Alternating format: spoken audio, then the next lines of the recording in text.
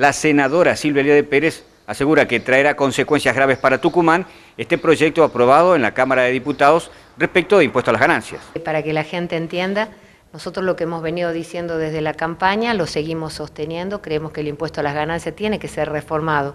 Tanto es así que lo primero que hizo el gobierno en, los 60 días, en el mes de febrero, fue aumentar el mínimo no imponible, que implicó en aquel momento 50 mil millones de pesos de costo fiscal. Ahora lo que estamos convencidos que la corrección tiene que venir a través de las escalas. Por eso es que el gobierno de la nación, en extraordinarias, en donde ustedes saben que es el presidente el que pone qué es lo que se trata, envía el proyecto al Congreso. Lamentablemente, el proyecto que viene del Ejecutivo, que es un proyecto bueno, que está consensuado los montos que había sido previsto dentro del presupuesto nacional, ha sido desechado. Para que ustedes se den cuenta de qué estamos hablando, lo que ha sido desechado implicaba que recién se empezaba a pagar impuesto a las ganancias a partir de un sueldo de 35 mil pesos, con una escala pequeñísima de, menos de un 1%, porque creemos que el impuesto a las ganancias tiene que ser progresivo.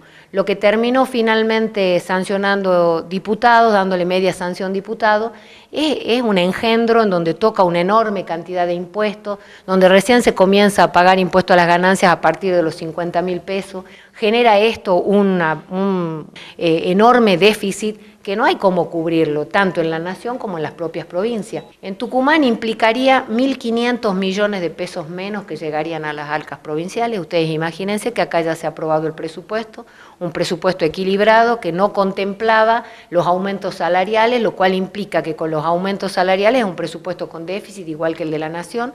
Entonces, con este nuevo, esa de, de fondos, la verdad que a la provincia se le va a complicar. ¿Cómo espera usted que reaccionen los senadores tucumanos cuando llegue este tema al Senado? Con responsabilidad. Yo espero que sea un debate no para la tribuna,